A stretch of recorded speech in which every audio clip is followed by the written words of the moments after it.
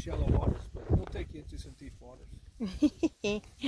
She's happy. We're happy. This is our first anchorage tonight.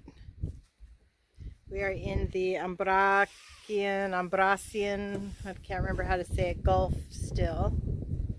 Um, decided to come out here to these little islands.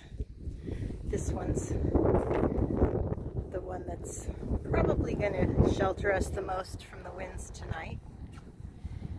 And Pretty nice and warm now. yeah, I'm happy to be away from all this hustle bustle. boat yards. Uh, yeah. Um, there's supposed to be dolphins coming in here, so we will keep the cameras handy.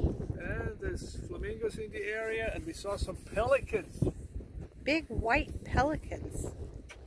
Or storks, I don't know. They had a super pointy, Bill.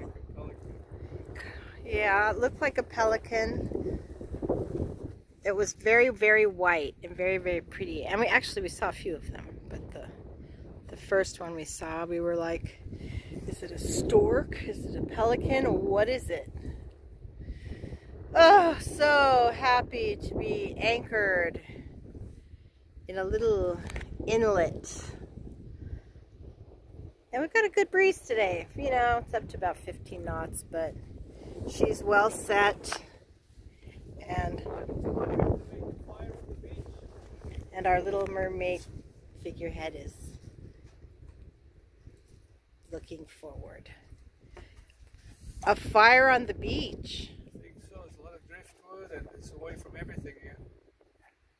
Oh, and did we tell you we got um, six months in Greece? Oh yeah, thank you customs.